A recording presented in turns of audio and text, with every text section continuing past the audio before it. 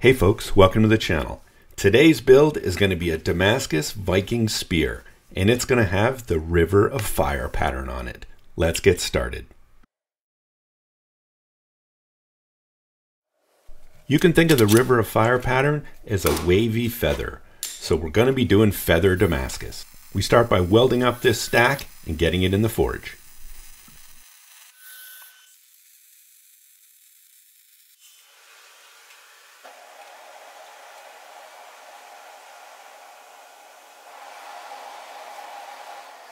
After a little dip in kerosene to help with the forge weld, we're going to get it in the forge. Then after it heats up, we're just going to hit it with a little flux.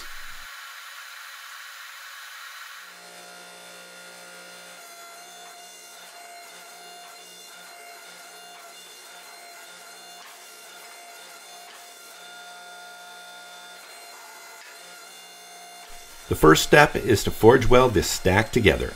The graphic in the corner will represent what's going on with the billet.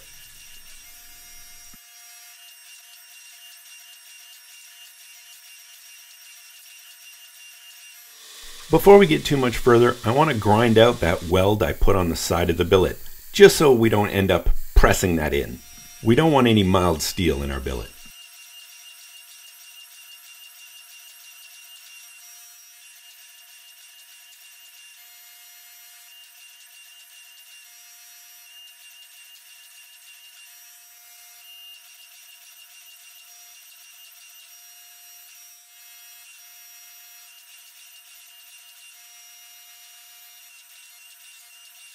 The billet is all forge welded together. I've drawn it out a little bit. Now it's time to impart some pattern. I've put in the squaring dies. Now we're trying to get the pattern in the corner.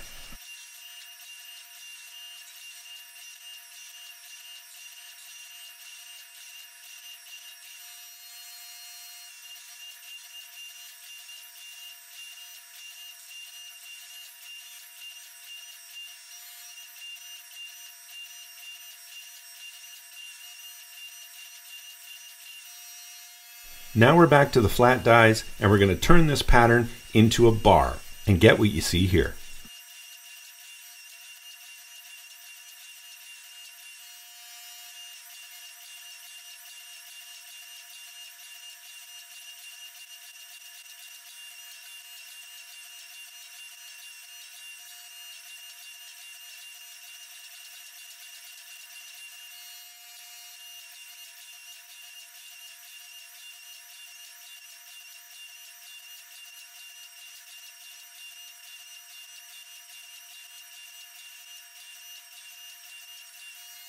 We're going to be restacking these bars on top of each other, so we need to draw this bar out pretty long so we can cut it up into a bunch of pieces.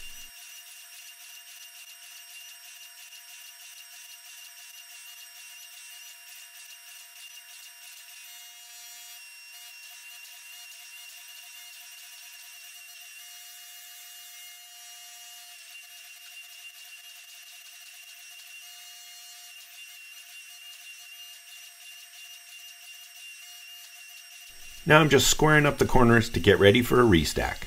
Here it is, restacked back in the forge. This will give us the pattern you see in the corner.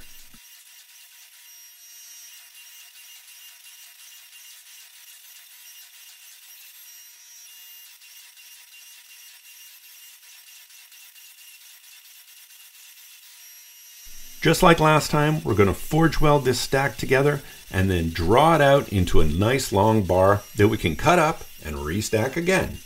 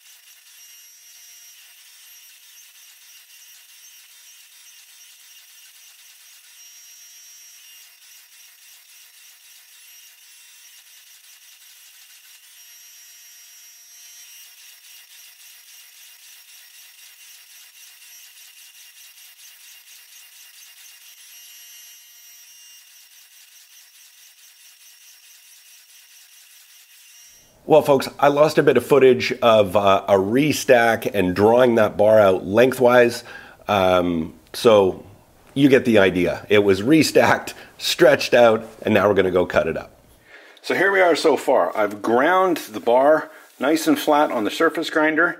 Now I've cut it into equal pieces and numbered those pieces, one through eight. Okay, now we're just going to do this to the pieces and then stack them up. This will ensure that all of our ends meet up correctly. We're going to forge weld this all together, then split it down the center.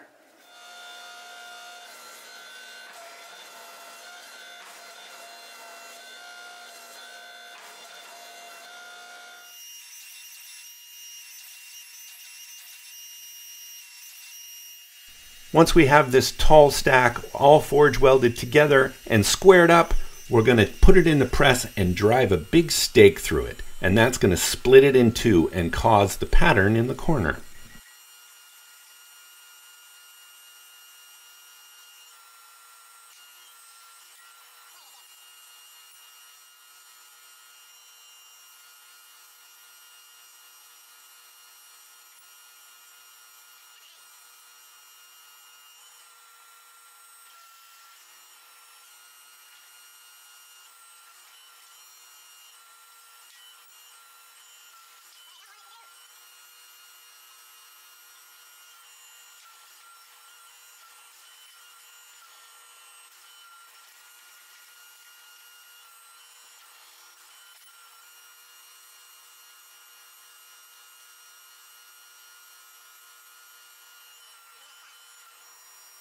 Splitting this stack gave me a few headaches, but I finally got it done.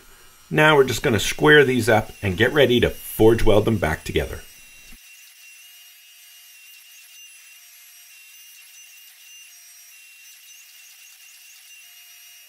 Okay, so here we are so far. We split the feather. I've ground the sides. This one was a little thicker uh, this way, so I ended up pressing it um, and just grinding it a bit to get them all the same. And then I've taken a bunch of 1080, this was just happened to be the thickest 1080 that I had, and I've stacked this up. And you'll see in the next step what I'm going to do here. So now we're going to forge weld this all together this way.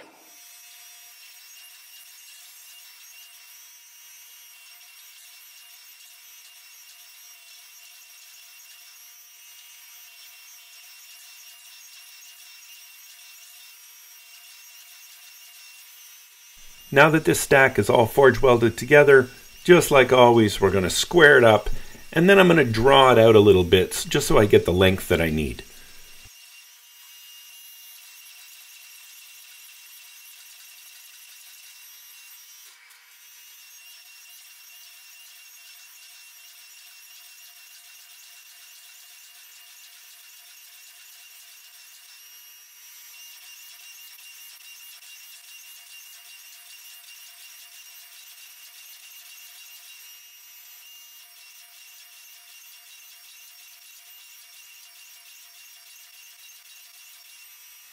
Now it's time to make that wavy feather.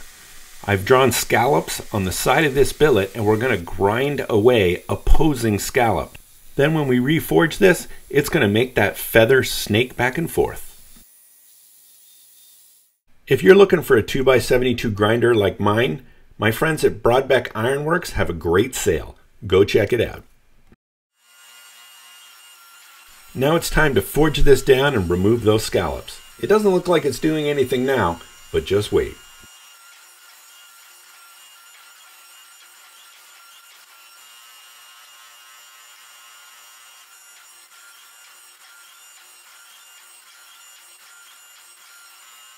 Now it's time to start forging our spear shape.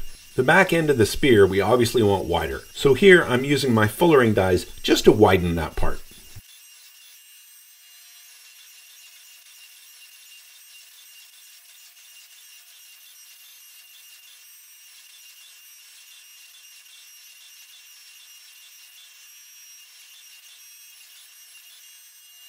Remember, the feather is in the center and there's bands of 1080 on either side. We want that feather to come to the point. So I'm using my fullering dies to pinch that point so that the feather will come right to the tip.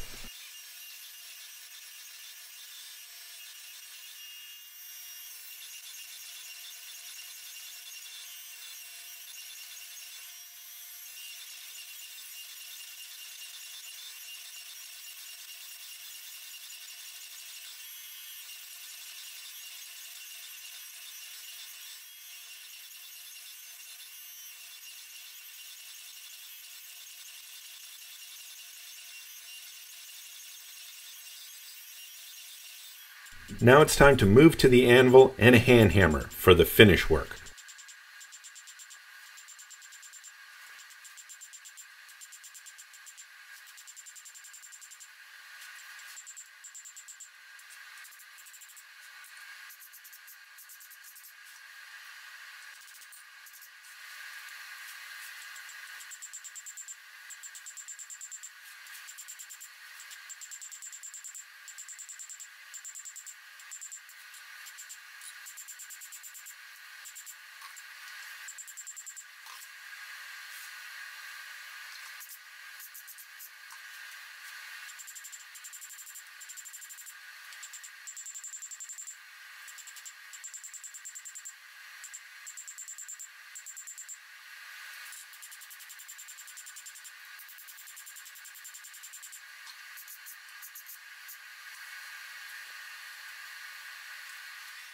I want to make sure that the feather is perfectly aligned in the center and serpentines down the blade.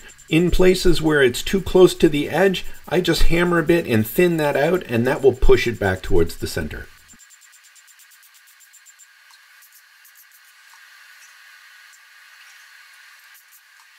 After a quick check on my dimensions, everything looks pretty good. I'm getting really close.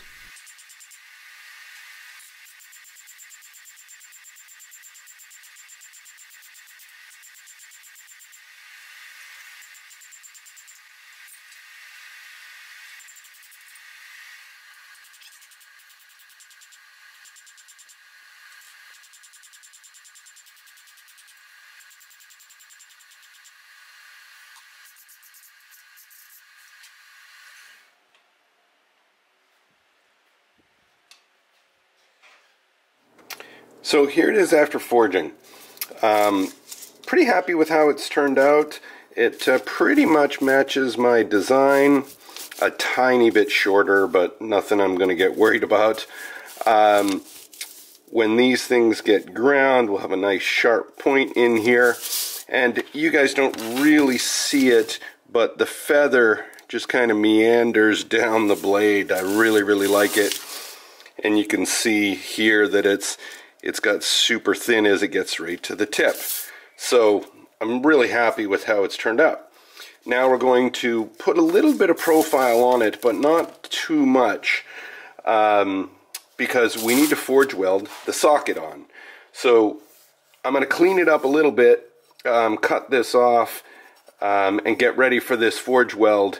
The only reason I'm going to um, do the profile is just to make sure I have it centered up here. But um, no sense, this is going to go back in the forge again for the forge weld, so there's no sense grinding all the scale or anything off of it just yet. Let's move on to the socket and get this going. So the socket is going to be a piece of this. This is inch and a half, just 1045 steel. What I'm going to do is cut a section of this off, and I'm actually going to do the cone, um, the socket in the lathe we're going to make the interior cone here with one of these. So I'm just going to drill all the way through this, okay? That'll create um, kind of a channel. It'll be about five inches. And then I have a boring bar that I'm going to do to widen it so it is cone shaped through here. And then of course we're going to come back and taper it this way. And um, then we'll cut a slot so we can forge weld this to it.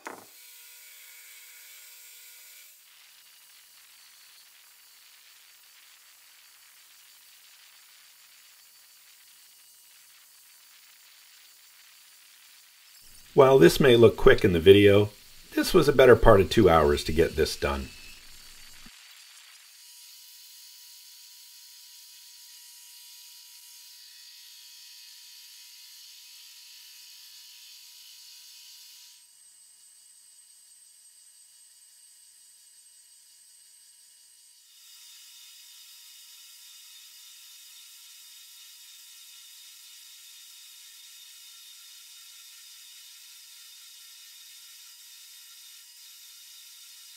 So here we are so far. Here's the socket.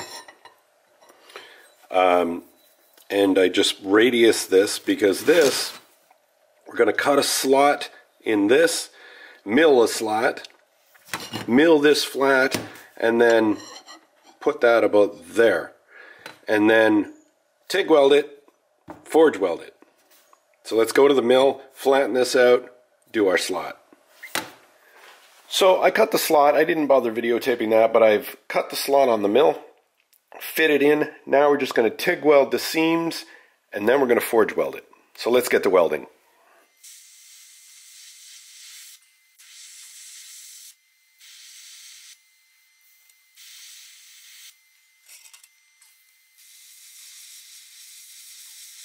I've successfully got the socket TIG welded to the spearhead.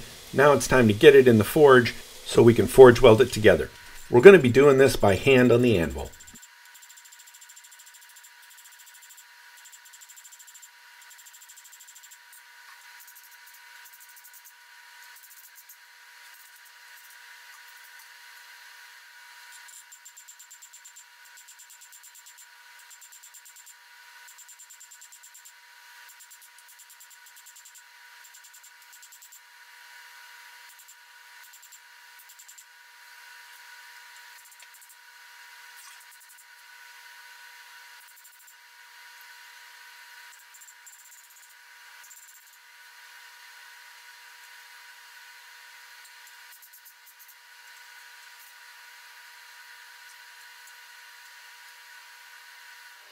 So here it is after forging. Um, really happy with it. Um, it forge welded just perfectly. There's a little bit more of a divot here than I wanted, but that's fine. I'm just going to just taper this just a little bit to take that out. Then we'll get all the forge scale off of it. Uh, I tried to keep as much forge scale as I could off of this since it already had a nice finish on it. So it stayed pretty good. So we'll just have to kind of grind that down. But now let's get all this off, put the profile to it, and then we'll get to grinding bevels.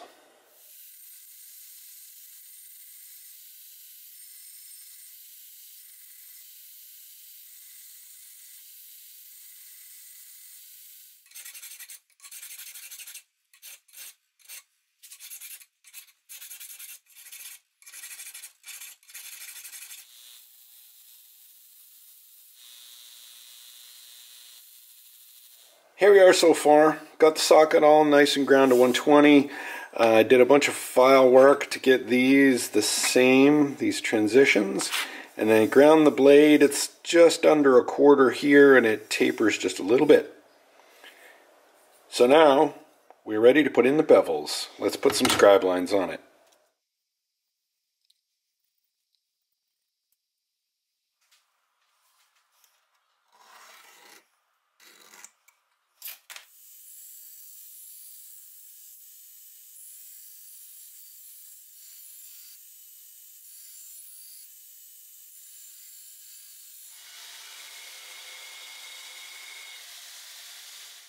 Time to drill the pinholes. I've already normalized this, this is why it doesn't look as shiny as it did before. Here we go, time for the heat treat. This is what's going to turn it into a real blade.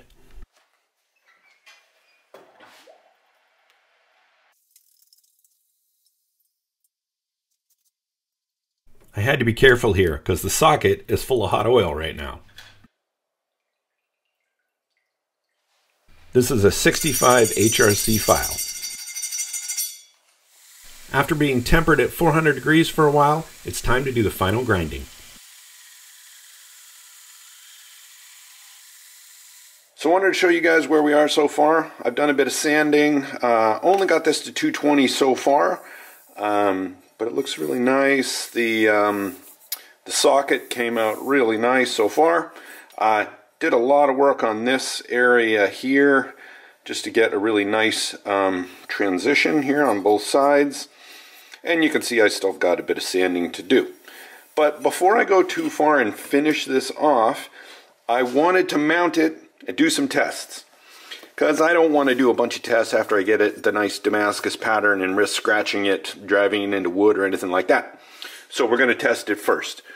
So what I bought was it's really hard to find really long pieces of hardwood, so I just went to um, to Lowe's and I bought this stave, which is actually from a wheelbarrow, but it's hardwood. Um, so that's what we're going to use. Uh, I'm going to have to rip this down and, and curve it. Uh, the reason I'm not that concerned about this is this is a commission and it's actually going to get shipped without this. So this is really just for me to test it and to show you guys. So let's get this prepped. We'll get this mounted. Uh, I'll sharpen the edges and we'll do a little test.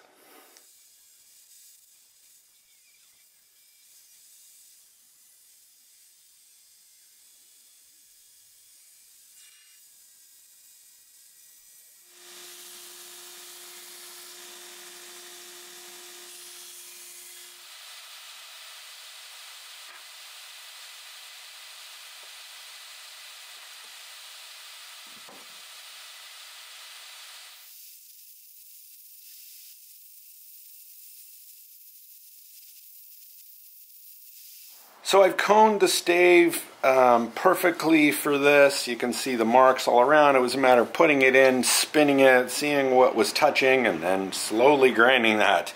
So we've got it to the point where it fits in nicely. You can see it's, it's a good fit. Next is drilling the hole for the pin.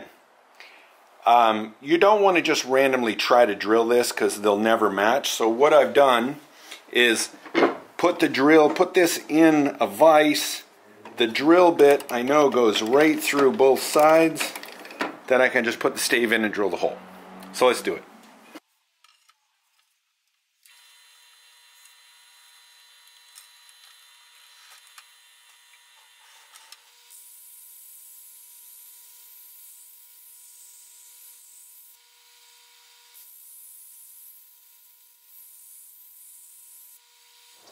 I built this wooden target so we could have a little fun with this spear.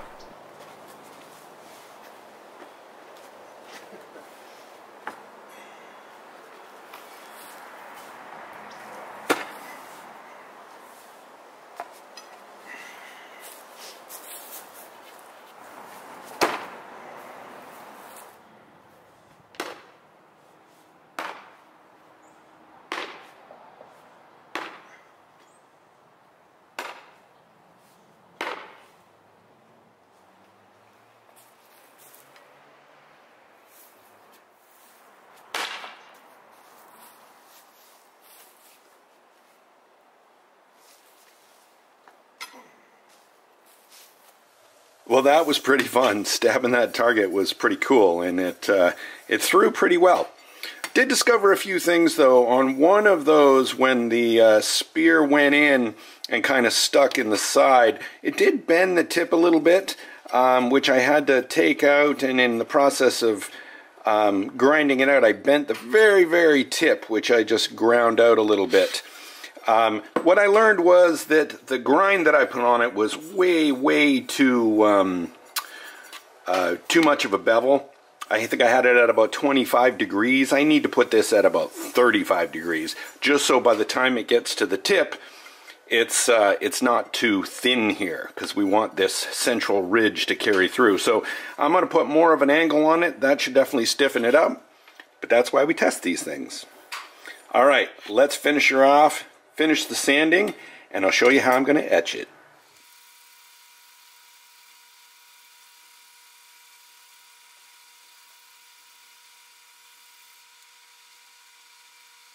So I got this whole thing sanded to 800. We're ready to etch it. So I want to put a nice design on the socket. So what I've done is I've laser etched this knot pattern um, I'll show a little video over here of how I did that. What I want to do is put this, and I made this um, just big enough so that it wraps around um, perfectly here. Uh, and this is a vinyl sticker, so I can take this off, stick it. Then what I'm going to do is use some of this pink nail polish that I stole from my wife. Don't tell her. Um, and I'm going to fill in the inside Okay, as a resist, take the sticker off. Uh, I'm also going to do this one, so there'll be one up here like this. Uh, do the same thing, then take the stickers off, dip the whole um, spear in ferric chloride and it should leave that part nice and clear and etch the design.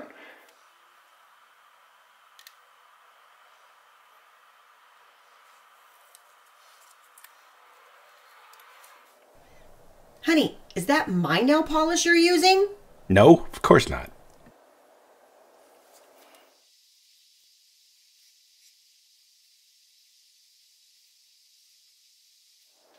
Well, it looks like the resist worked okay. I've got the stickers removed, all cleaned up this part with acetone. Let's get it in the etch.